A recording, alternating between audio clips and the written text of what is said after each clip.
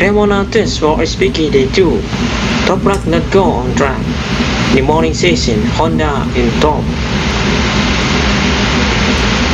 Honda on top. Some teams from the Superbike and Supersport World Championship are testing on the Cremona circuit this week.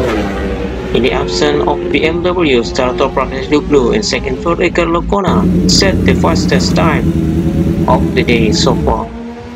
Superbike team and Orchid BMW, Kawasaki Racing and Honda Racing Corporation are taking part in this week two days Cremona test on June 19 and 20.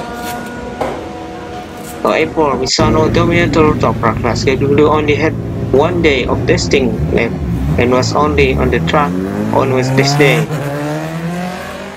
The BMW rider set the best time 1 minute 28.578 second and was therefore almost a second faster than second place Axel Bassani Kawasaki.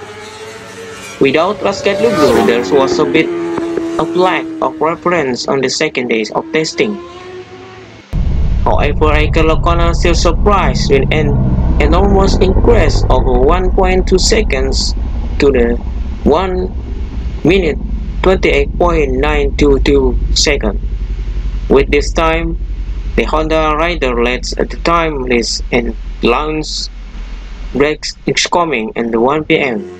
And Iker Lecuona bring Honda on the top.